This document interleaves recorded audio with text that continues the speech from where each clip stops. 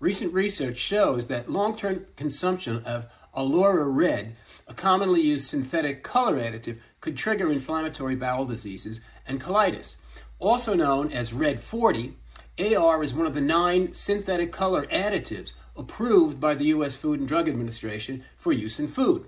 Now, manufacturers prefer synthetic dyes over natural ones extracted from animals and plants because they cost less, provide a more vivid and uniform color, and they don't introduce unwanted flavors.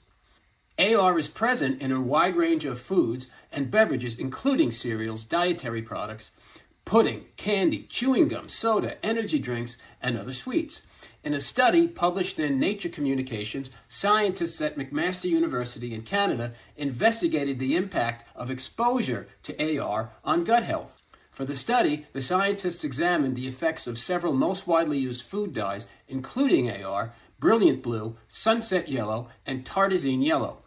The dye directly disrupts gut barrier function and increases the production of serotonin, a hormone neurotransmitter found in the gut, which subsequently alters gut microbiota composition, leading to increased susceptibility to colitis, the scientists said in a press release.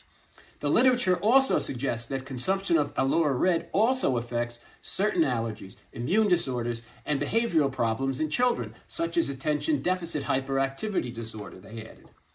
It has long been suspected that exposure to synthetic food dyes at a young age can cause ADHD, according to the California government's 2001 review of scientific studies over the preceding decade. Consumption of synthetic food dyes, including AR, did cause hyperactivity and other neurobehavioral issues for at least some children.